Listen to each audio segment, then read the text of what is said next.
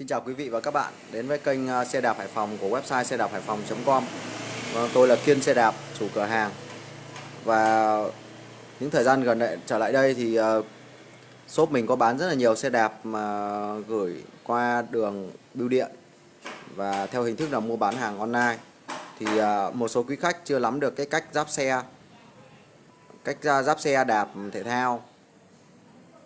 Khi mà quý khách nhận được xe thì ngày hôm nay thì cửa hàng xin ờ, quay một cái video hướng dẫn ờ, quý khách giáp xe giáp chiếc xe đạp thể thao của ờ, quý khách mua mà được được cửa hàng đóng trong hộp gửi đến nhà quý khách.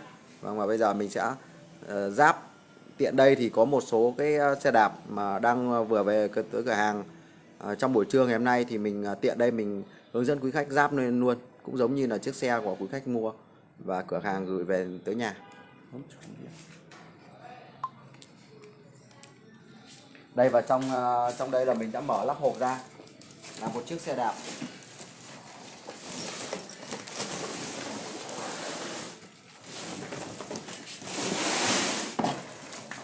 Gian ờ, đây là chiếc xe đạp gian ATX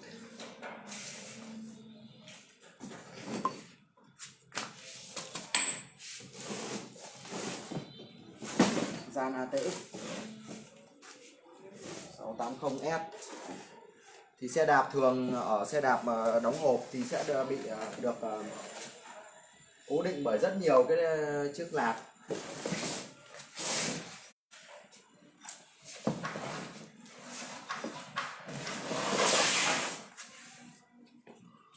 ta sẽ tiến hành tháo cái lạt nhựa ra quý vị ở nhà thì nếu mà không cần dùng lại lại cái nạt nhựa này thì quý vị có thể dùng kéo cắt. Còn ở cửa hàng thì mình ờ, tiết kiệm nên là mình dùng lại cái lạt nhựa này thì mình có cách tháo ra thôi, gạt lẫy ra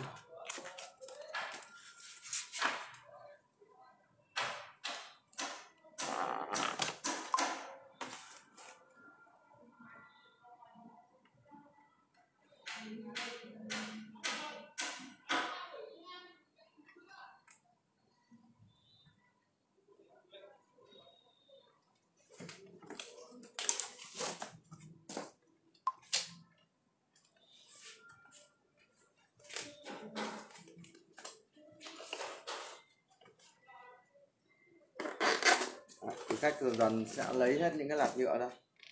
Để cố định ra khỏi xe.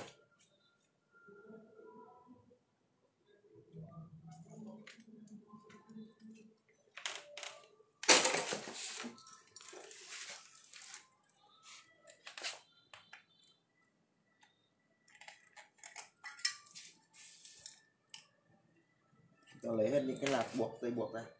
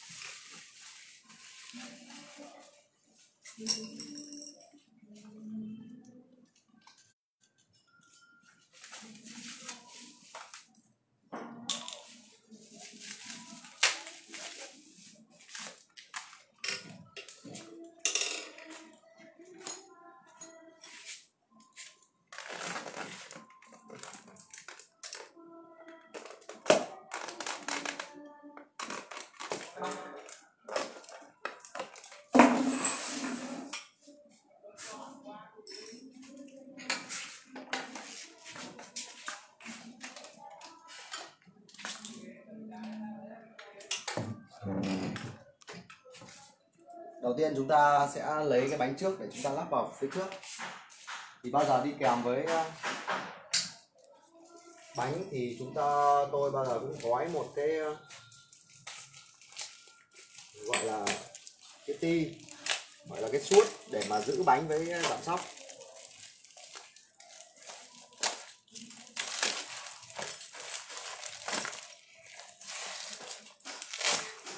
Đồ sẽ có đan.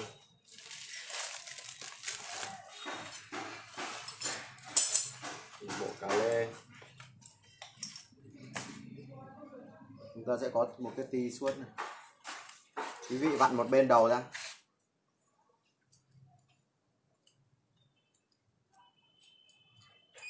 Ở đây nó có hai lò xo.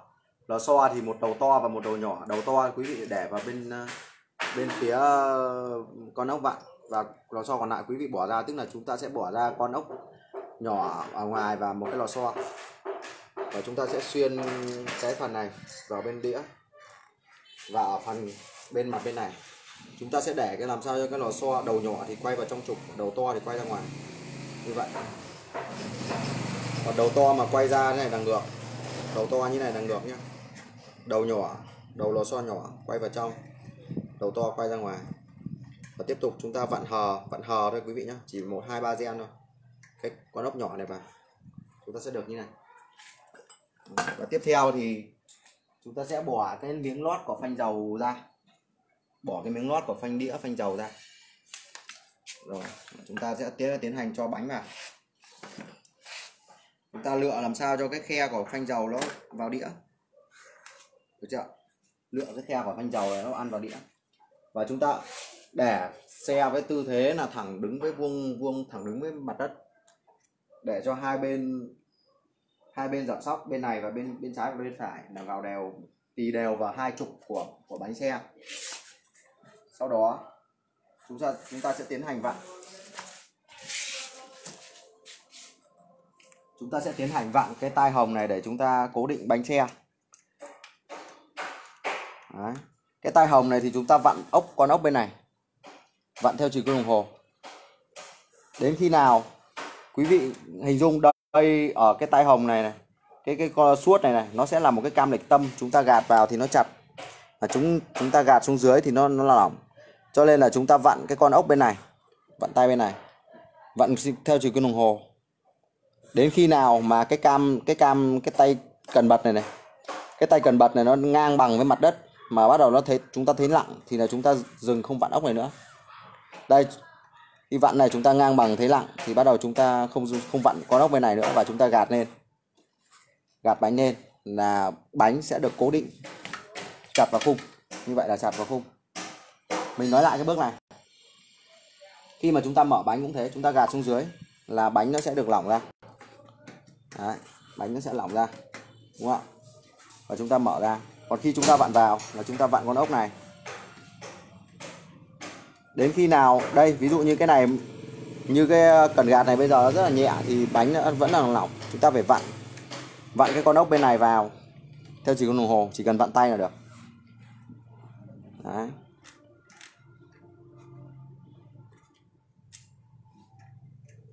chúng ta gạt vào, nếu như mà gạt gạt có một tí thôi mà đã lặng rồi thì chúng ta bị vặn hơi quá, chúng ta lại nhả ra. Tóm lại làm sao mà cái cần cần cần gạt này này nó đến à, khi mà nó đến cái tầm mà ngang ngang này, ngang ngang mặt đất này mà nó bắt đầu lặng thì chúng ta gạt vào là chuẩn. Ok ạ. Đấy. giữ cho khung thẳng với mặt đất để cho bánh hai đầu của giảm sóc được tì, tiếp xúc hết với hai đầu của trục bánh. Và chúng ta gạt vào. Như vậy là chúng ta đã ráp xong phanh đĩa.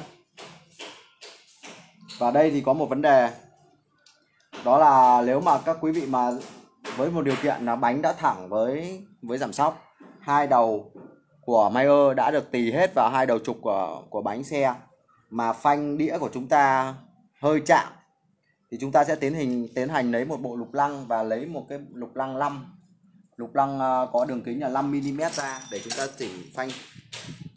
Chúng ta chỉnh phanh chúng ta sẽ tiến hành lấy hai cái con ờ, bắt cụm phanh này trong trường hợp là, trong trường hợp là khi mà chúng ta đã giáp bánh vào rồi mà cái cụm phanh bị bị chạm và với đĩa thì chúng ta sẽ chỉnh con này còn nếu như trong trường hợp mà phanh đã hoạt động ok, quay không bị xít, quay không bị xít thì chúng ta không không chỉnh nữa Đấy.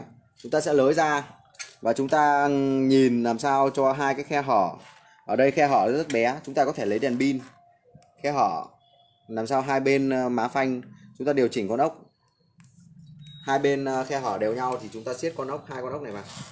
Khi mà hai bên khe hở giữa cái má phanh này nó đều nhau thì chúng ta siết hai con ốc này vào. Đó là chỉnh phanh.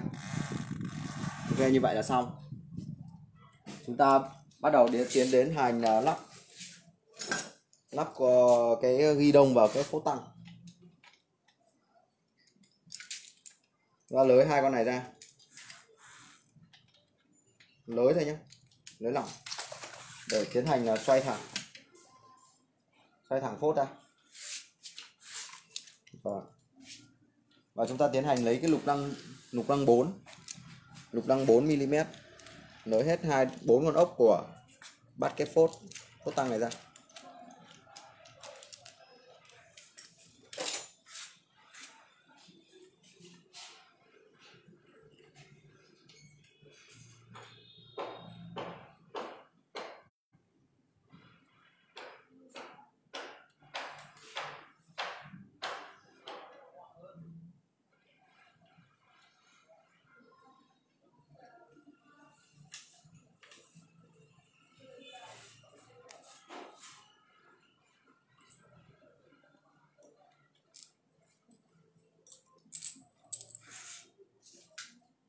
Và chúng ta tiến hành là nắp ghi đông vào. Quý vị lưu ý là chỉnh dây làm sao cho nó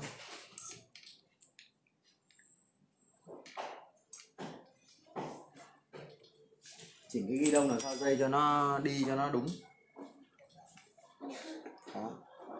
tay à, uh, 3 là phải ở bên tay trái của chúng ta tay 8 tay bướm xả 8 phải bên tay phải thì như vậy thì chúng ta phải đặt theo này. Thì nó mới là đúng nhất đó, sau đó chúng ta bắt vào. Gá vào. Đó gá cái mặt bích này vào với bốn con ốc. Chúng ta vặn đều vào.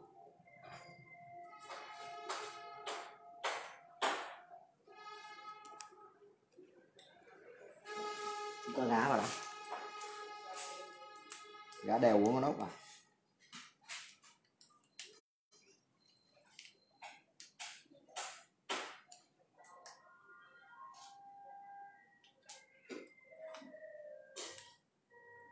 Ở bước này thì chúng ta có thể điều chỉnh là hai cái việc sau đây là chúng ta phải điều chỉnh. Đó là điều chỉnh cái ghi đông nó nằm ở giữa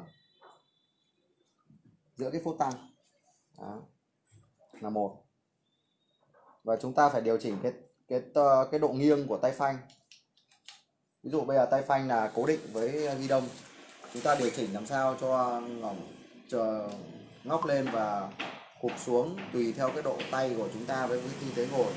Thì theo tôi thì uh, cứ để cái tay phanh làm sao nó hơi nghiêng nghiêng trúc xuống một tí này là nó thoải mái nhất. Và ghi đông ở giữa. Thì tất cả đều được, được uh, cố định bởi bốn con ốc này thì chúng ta điều chỉnh.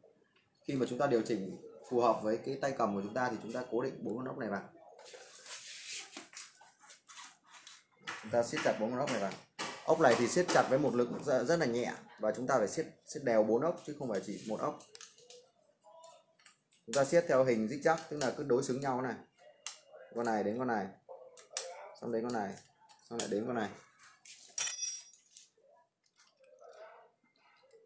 Siết chặt con này này. Xong đối diện này. Con này này. Xong đối diện con này. Bốn con. Bốn con siết chặt đều nhé với lực rất là nhỏ thôi. Các quý vị chỉ cần cái tay tay cầm nhỏ như này thôi đừng có dùng quá lực là nó sẽ bị tròn dây ăn ở cái phốt này đó.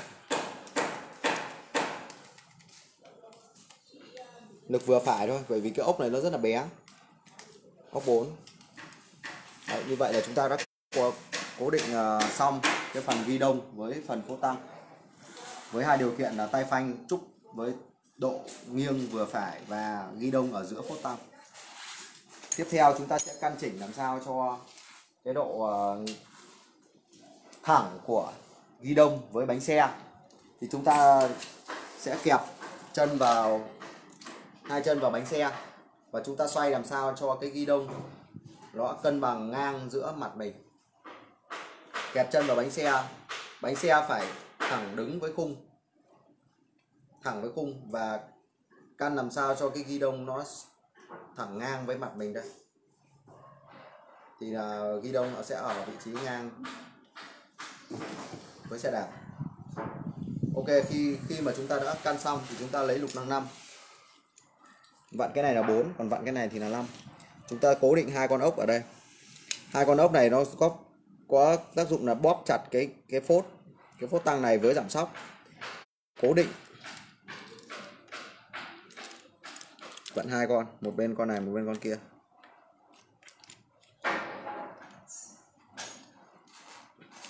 Rồi, cố định ghi đông. Như vậy là tôi kẹp chân vào này. Cái ghi đông rất là chặt rồi. Không thể lay được đúng không và ghi đông chúng ta kiểm tra lại xem là đã thẳng với với bánh chưa. Đấy, ok đúng không ạ? Cái uh, chiều này đỏ độ nghiêng vừa phải là chỉnh được chỉnh bởi con này. Còn ghi đông mà nghiêng xoay vặn thì được chỉnh bởi con này. Hai con này nhé quý khách nên nhớ. Còn giảm sóc thì chúng tôi đã cân chỉnh cái độ dơ. Con ốc này là cân chỉnh độ dơ của giảm sóc thì chúng tôi đã cân chỉnh đầy đủ. Quý vị chỉ cần ờ, chỉnh hai cái xe nếu mà ghi đông mà không thẳng với bánh xe thì chú, quý vị chỉ cần chỉnh hai cái này. Còn khi mà lắp ghi đông vào cái phút tăng thì chỉ quý vị chỉ cần siết chặt bốn con này đều đặn là được. Như vậy là phanh của chúng ta đã ok. Tiếp theo chúng ta tiến hành đến là lắp cọc yên. Lắp cọc yên vào với xe. Đây là cọc yên của xe và đây ở đây nó có một cái phớt chắn bụi. Chúng ta sẽ tiến hành mở cái khóa ra. Cũng như là ở khóa ở cái suốt của bánh xe ấy, thì cái này cũng tương tự nó cũng là cam lệch tâm và chúng ta gạt ra thì nó sẽ lỏng. Còn gạt vào thì nó sẽ chặt. Chúng ta gạt gạt cái lẫy ra. Chúng ta đút cọc yên vào. Đút vào chúng ta chỉnh làm sao với người đạp của chúng ta. Thì cái cọc yên mà một uh, những cái người mà mới đạp thì chúng ta sẽ chỉnh thấp hơn thấp hơn cái thắt lưng cái tầm thắt lưng của chúng ta từ 5 cho đến 7 phân đấy là dành cho người mới đạp.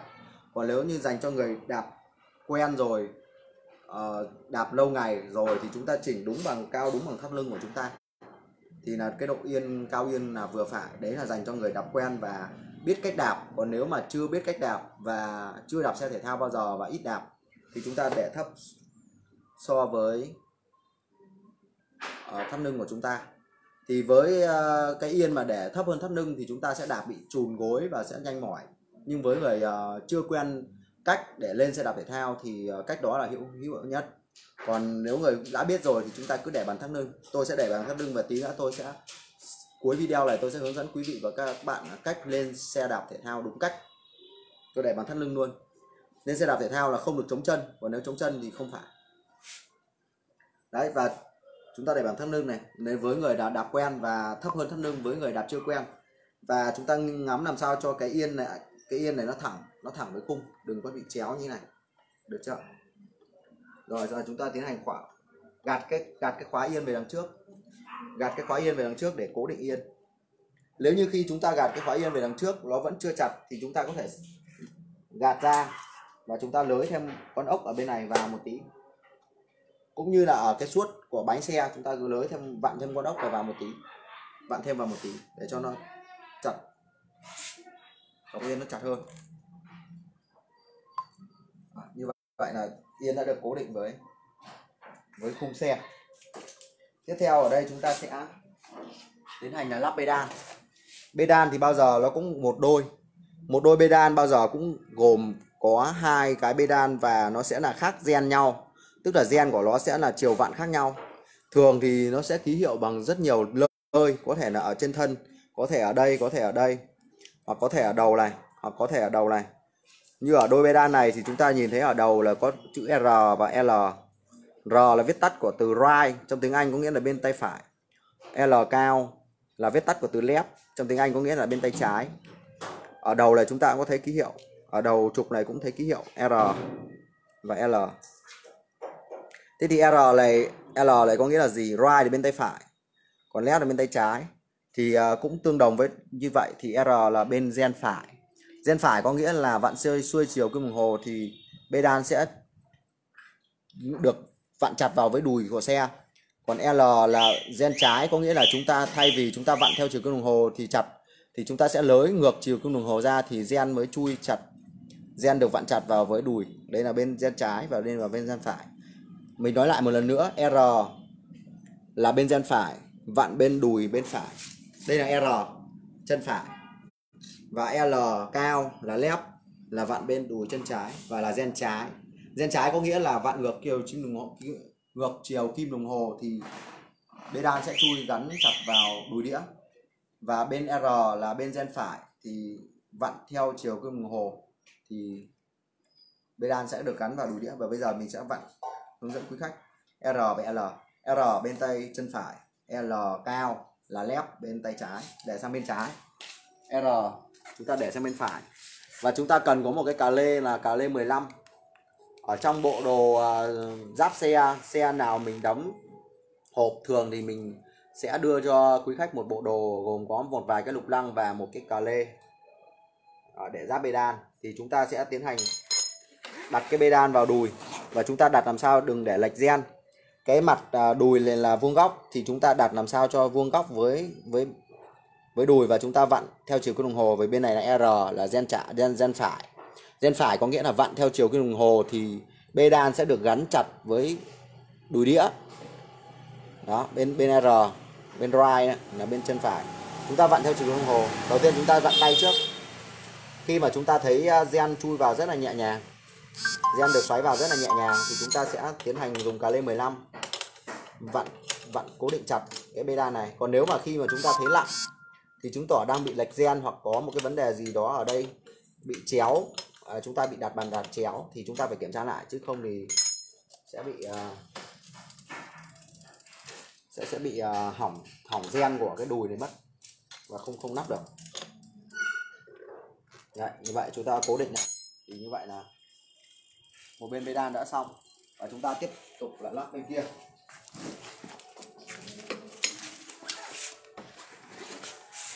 Bên uh, chân phải lúc nãy tôi vừa lắp đó là R là bên gen phải và bên chân phải. Còn bên này bên này L là lép là bên tay trái chân trái tay trái. Và được lắp là gen gen ngược gen gen trái. Có nghĩa là bây giờ chúng ta lắp vào thay vì là vặn xuôi chiều kim đồng hồ như ở bên tay chân phải thì chúng ta sẽ vặn ngược chiều kim đồng hồ đối với cái đùi ở bên chân trái gen ngược. Thì chúng ta sẽ vặn ngược chiều kim đồng hồ nha các bạn các, các quý vị nhá. Các quý khách vặn ngược chiều kim đồng hồ. Đây quý khách nhìn này ngược chiều kim đồng hồ. Bê đan sẽ được chui vào trong đùi gen sẽ được chạy vào và quý khách cũng vặn được khoảng 5 đến 7 gen đầu 7 vòng gen đầu. Nhẹ nhàng thì quý khách dùng cà lê vặn còn nếu trong quá trình mà vặn vào, bị cứng thì chắc chắn là quý khách đã đặt ngược hoặc là bị nhầm vế. Tức là chúng ta dùng cái cái bê đan bên R mà chúng ta vặn vào L thì không có vặn được, nó sẽ bị hỏng gen ngay. Chúng ta đặt vào là phải đặt vuông góc. Đó. sau đó chúng ta tiếp tục dùng cà lê để vặn ngược chiều trên đồng hồ. Quý vị lưu ý, những cái bước vặn này nó phải nhẹ nhàng. Còn nếu như mà nó có một vấn đề gì mà lặng mà phải ghi ghi sức, mà phải nghiến răng nghiến lợi mà mới vặn được vào thì chắc, chắc chắn là đã bị sai nha quý vị phải làm lại ngay chứ không sẽ bị hỏng gen của cái đùi này ngay. Rồi chúng ta tiếp tục là vặn cố định chặt bằng cà lê vặn ngược chiều đồng hồ. Như vậy là chúng ta đã đã vặn xong. Tiếp tục là chúng ta đã lắp được bánh lắp được bê đan lắp được cọc yên. Và tiếp tục là chúng ta kiểm tra là việc lên số của xe đạp thì à, việc lên số này thì à, mình cũng đã có nhiều video hướng dẫn sử dụng rồi. Thì quý vị có thể vào trong kênh xe đạp Hải Phòng của mình trên YouTube hoặc là inbox nếu mà quý vị à, mua xe của của cửa hàng thì inbox để cửa hàng chỉ dẫn. Đấy, chúng ta kiểm tra việc chuyển số của chiếc xe đạp. Như vậy là chúng ta đã giáp hoàn chỉnh một chiếc xe khi mà quý vị mua online tại cửa hàng xe đạp Hải Phòng và chúng tôi tiến hành gửi xe đạp về theo đường bưu điện theo đường uh, bưu phẩm về cho quý vị và được đóng hộp thì uh, quý vị sẽ thực hiện từng bước như từ đầu livestream từ đầu video đến giờ. Mình hướng dẫn quý vị và quý vị sẽ nắp thành công được một chiếc xe đạp từ giáp bánh giáp ghi đông giáp yên và giáp bê đan. Chỉ có bốn bộ phận đấy thôi còn bánh sau thì thường sẽ được cố định luôn bánh sau đường cố định luôn vào với khung rồi nên là chúng ta không cần à, để ý. Còn cái phần chuyển số trước khi cửa hàng giao xe cũng đã kiểm tra hoạt động rất là tốt. Thì cửa hàng mới tiến hành đóng gói cho nên là quý vị cũng không cần quan tâm nhiều đến phần chỉnh của chuyển số. Còn nếu quý vị quan tâm đến phần chỉnh số như nào thì trong kênh xe đạp Hải Phòng của, trên YouTube của cửa hàng cũng đã có rất nhiều video hướng dẫn quý vị chỉnh số rồi. Quý vị hãy tìm và xem lại trong kênh nhé và bây giờ cái mục cuối cùng là chúng ta như tôi nói lúc nãy là tôi sẽ hướng dẫn quý vị uh, lên lên đạp. Khi mà để mà lên ngồi yên một chiếc xe đạp thể thao đúng cách là như thế nào. Thì uh, đây với uh, chiều cao của tôi mình là một m sáu hai thôi. Một m sáu hai nhưng mà mình để cái yên cao như vậy là mình cũng đạp được. Thì làm thế nào để mình lên được? Thì với những cái quý vị mà chưa chưa quen xe đạp thể thao thì sẽ chống chân như này để mà lên. Nhưng đó không phải là cách đúng chống chân như này thì quý vị rất là khó. Mà khi uh, khi mà dừng đèn đỏ hay gặp chứng ngại vật xe đạp thể thao muốn đạp được đường dài thì chúng ta phải đạp để đúng bằng thắt lưng. Thì chúng ta mới không bị trùn chân và chúng ta không bị mỏi. Thì mới đạp được lâu. Thì cách nên đúng của của xe đạp thể thao đó là chúng ta sẽ ngồi đứng vào giữa đứng vào giữa khung. Chúng ta sẽ đứng vào giữa khung và để háng kẹp chiếc xe bằng bằng háng được chưa? Như này đúng thoải mái như này. Chúng ta sẽ để tùy quý vị thuận chân nào như tôi thuận chân phải thì tôi sẽ để bê đan ở cái tư thế là ngang bằng nhất tầm này. Như thế này thì hơi thấp đúng không ạ? Như này tầm như này để chúng tôi dướn tôi dướn tôi lấy đà đấy là động, động tác thứ hai. Động tác thứ nhất là đứng kẹp chân. Động tác thứ hai là ví dụ bê đan ở đang ở tư thế này chúng ta quay bê đan đến tư thế khoảng ngang ngang với mặt đất để chúng ta lấy đà. Đó là động tác thứ hai và động tác thứ ba là chúng ta nếu quý vị chưa quen thì quý vị có thể hơi bóp giả phanh một chút. Hơi bóp giả phanh một chút. Quay thẳng nhìn về phía trước và chúng ta dướn người lên để lấy đà. Được chưa? Dướn người lên hơi bóp phanh một chút. Khi mà chúng tôi ờ, chúng ta đã dướn lên lấy đà rồi có đà rồi thì chúng ta nhả phanh ra. Đấy, dướn lên lấy đà và chúng ta ngồi lên đó. ở đây thì nó hơi chặt nhưng mà ở ngoài đường thì nó dễ hơn. Và khi chúng ta ngồi lên rồi thì chúng ta đã đã ngồi được lên xe. Đúng không ạ?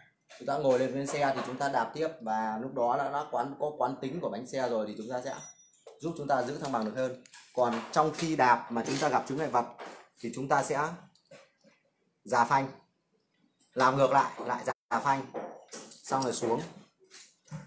Được chưa khi mà gặp chứng ngại vật hoặc gặp đèn đỏ thì chúng ta lại bóp phanh và chúng ta xuống, lên xuống, lên. Ok, bây giờ mình sẽ dắt ra ngoài đường và mình sẽ lên thử đạp thử cho quý vị. Hướng dẫn quý vị cách lên với một cái chiếc yên cao bằng thắt lưng của mình như này. Đây không phải là vấn đề là người thấp hay người cao. Người cao một m tám thì để yên cao hơn, cũng không chống chân được. Mà người cao một m rưỡi thì cũng không chống chân được. Tóm lại, nếu mà muốn đạp xe thể thao, đạp thể thao đúng cách để không mỏi đầu gối và đạp duỗi được hết chân thì chúng ta phải để yên cao đúng vào thắt lưng. Thì tại vì sao như vậy? Chúng ta đạp là đạp bằng mũi chân. Đấy ở đây à, ví dụ này là mình đang đi dép trong nhà. Còn nếu không thì mình sẽ phải đi giày. Chúng ta đạp bằng mũi chân thì à, chỉ có yên cao bằng thắt lưng thì chúng ta mới đạp được thẳng. Cái đùi của chúng ta nó mới đạp được hết thẳng thẳng chân như này duỗi chân như này. Mà đạp duỗi chân như này thì chúng ta mới không bị mệt và đạp được xa chứ còn nếu quý vị mà để yên thấp quá mà chống được chân, quý vị mà đạp được duỗi chân thì đương nhiên quý vị không thể duỗi, chống được chân rồi. Bởi vì khoảng cách khoảng cách từ bê đan đến mặt đất nó còn cách có khoảng à, 10 phân nữa 10 cm nữa. Cho nên là không thể chống chân được. Nếu mà đạp duỗi chân hết rồi thì làm sao mà chống chân được? Còn nếu khi mà quý vị chống chân được thì đương nhiên quý vị đặt lên bê đan là sẽ bị trùng chân. Đó là vấn đề. Nên là không, ở đây không quan trọng là người cao hay người thấp, mà quan trọng là phải đạp được duỗi được hết chân. Khi đạp được duỗi hết chân thì mới cho phép quý vị đạp được xa và không bị mỏi và mới đạp được đúng đúng cách. Nên là đạp thẳng chân như thế này thì đòi hỏi là cái yên là phải cao bằng thắt lưng của chúng ta. Và giữa bê đan và mặt đất còn một khoảng cách rất là khoảng từ 10 cm như này thì làm sao chúng ta xuống chân được. Cho nên là chúng ta phải lên lên xuống đúng cách. Đây. Đây mình sẽ dắt ra ngoài ngõ để lên cho có sĩ hết chém này. Đây, chúng ta sẽ đứng kẹp ở dòng ngang này. Đứng kẹp ở dòng ngang này. Bước thứ hai là để bê đan lên tầm ngang mặt đất để lấy hàng này. Hơi móng bấm phanh với người chưa quen này. Dướn lên này. Dướn lên là đạp.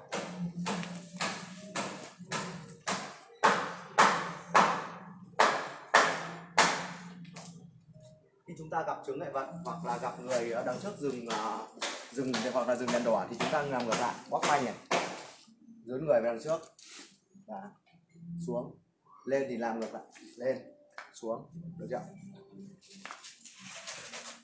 Làm lại một lần nữa, bước một kẹp chân giữa, thứ hai này, dướn người này, bóp phanh này, dướn lên, và chúng ta đạp thôi, có đà và đạp thôi.